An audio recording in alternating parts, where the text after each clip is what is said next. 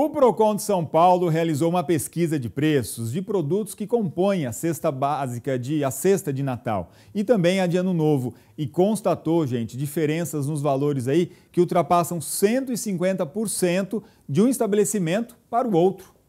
De acordo com a pesquisa de preços do Procon São Paulo, a farofa pronta é o item com maior variação de preço no estado. Em Rio Preto, a variação do preço deste produto também é grande, 96%. No estado de São Paulo foi encontrado produtos com diferença de até 150%. Aqui na nossa região, aqui na cidade de Rio Preto, que a gente observou, a maior diferença foi ali na farofa, cerca de 96%.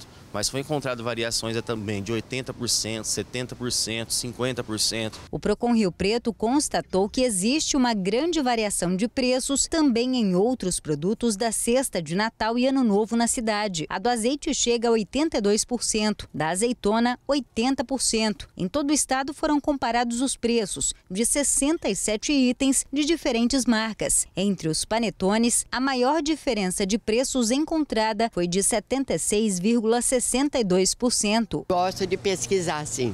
Por quê? É muito bom.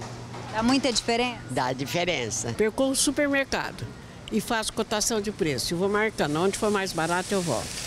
Dá muita diferença? Muita diferença, muita, gritante. Com uma diferença de preços tão expressiva, o consumidor deve ficar atento. Acesse a pesquisa, vê mais ou menos o preço médio praticado, para que ele possa pesquisar ali, montar sua lista de compras e ter o melhor preço possível para ele adquirir. É, tem que consultar, bater perna aí no supermercado. Se você quiser consultar também essa pesquisa de preços realizada pelo Procon, basta acessar o site procon.sp.gov.br, está aparecendo aí para você, tá bom?